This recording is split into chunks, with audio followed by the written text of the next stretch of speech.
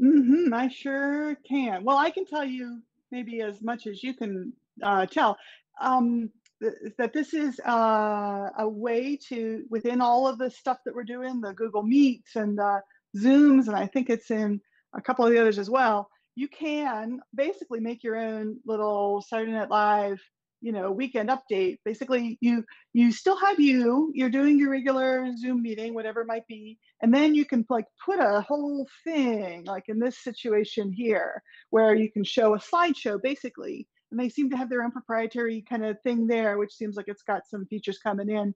Um, but you can then, like, make it fill the screen, and then you can be tiny, you can put yourself down here and do like a, um, you know, uh, uh, what is that show?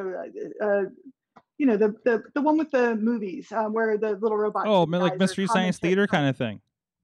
Exactly so, it's Mystery Science Theater, and so so you have to sign up for this thing, they're in sort of what they're calling beta, or sounds to me kind of pre-beta, or they're being the ultra stretched out beta. Hmm. Um, but it looks awesome, and I I really can't wait. So I'm of course, I, you know, put my name in hoping to hoping to get into it soon.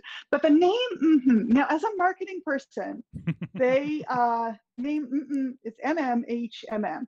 And so the guy says, "Well, you know, we wanted a name that you can say with your mouth full." And I just wanna say this is not a branding requirement I've run into before, Mhm. but I respect that they that they've read that it needs to be in there, and, um, and it's certainly memorable. Well, it feels memorable at the moment. I guess, uh, if everybody starts doing, you know, brand names that everybody can mumble, maybe that's the new thing, like taking out vowels from the from the ERs of of names. Who knows what the future of it is. But but anyway, this thing, can't wait to get it. It looks really cool. They've got a fun video where they show I say fun, I mean, how fun is a Zoom, uh, video, uh, other than this one, obviously. But, um, uh, it should be good. It should be it's a really interesting idea.